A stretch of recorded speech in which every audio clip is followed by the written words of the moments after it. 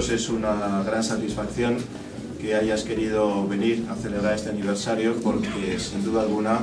eh, si hay un sitio de referencia, como tú decías, para todas las personas de origen navarro que vinieron a Madrid, pues es Nuevo Alcalá. Y simplemente eh, decir que este es un ejemplo de lo que creo que tienen que ser las señas de identidad de lo que debe centrar el eje de nuestra acción política. Lo que nos une a los españoles es una historia común de éxito y de colaboración entre todos nosotros. Y que cuando se anteponen los intereses nacionales y los intereses conjuntos de todos los españoles, con independencia de cuál sea su procedencia, pues se consiguen grandes éxitos y que España lidere como lideró durante muchas etapas de la historia el desarrollo, el pensamiento, la riqueza y el progreso.